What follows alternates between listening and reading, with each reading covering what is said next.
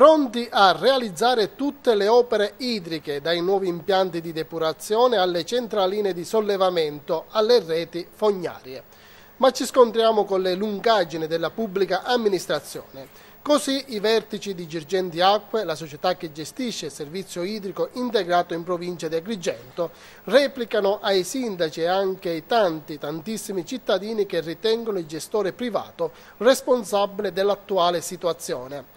Abbiamo la volontà di realizzare i progetti, ma siamo costretti a fare i conti con le lungaggini del sistema burocratico della pubblica amministrazione, precisano ancora e ad esempio citano il caso dei lavori da realizzare a San Leone, una centralina di sollevamento al posto del depuratore del villaggio Peruzzo e una rete fognaria che sposti i reflui al depuratore di Sant'Anna, annullando i pennelli a mare, il tutto in attesa che si costruisca il depuratore al villaggio Mosè. Attorno al progetto un iter burocratico che si annuncia lungo e tortuoso che prevede l'avvio il 4 settembre prossimo con la riunione per l'approvazione tecnica del progetto. Una volta approvato sarà trasmesso al Consiglio Comunale, il quale a sua volta ne approverà le opere e disporrà il vincolo preordinato all'esproprio. Successivamente il progetto sarà trasmesso alla Regione per l'emissione del relativo decreto di finanziamento. A questo punto la palla ritorna a Girgenti Acque che potrà dare il via ai lavori.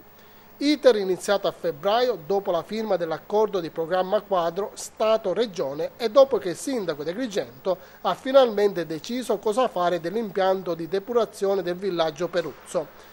Noi, prosegue Girgenti Acque, siamo pronti a iniziare i lavori, ma dobbiamo rispettare i tempi dell'amministrazione pubblica e di questo, come ovvio, il sindaco Zambuto ne è perfettamente consapevole, anche se talvolta le sue affermazioni ci lasciano allibiti. E pronta arriva la replica del primo cittadino di Agrigento, Marco Zambuto. Quando Girgentiacque ha firmato la convenzione, il contratto con il quale si è assunta l'onere di gestire le reti e di acqua e di fogna del, di tutto l'ambito, si è assunta uh, quest'onere eh, allo Stato nel quale si trovavano tutte le strutture.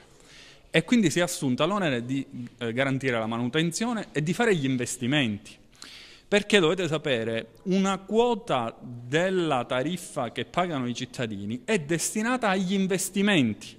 Vorrei sapere questa quota se è stata accantonata o meno da Girgenti Acque per fare gli investimenti, che investimenti hanno fatto e comunque non può essere un alibi quello di aspettare e nel frattempo che si aspettano le procedure, eh, tutta la vicenda sulla manutenzione viene lasciata eh, perire così come abbiamo visto eh, anche in queste ultime settimane. La vicenda è chiara, spaccata, eh, continuo ancora a vedere un ato che mi sembra molto sonnolente rispetto a una situazione che invece mi pare sia estremamente chiara.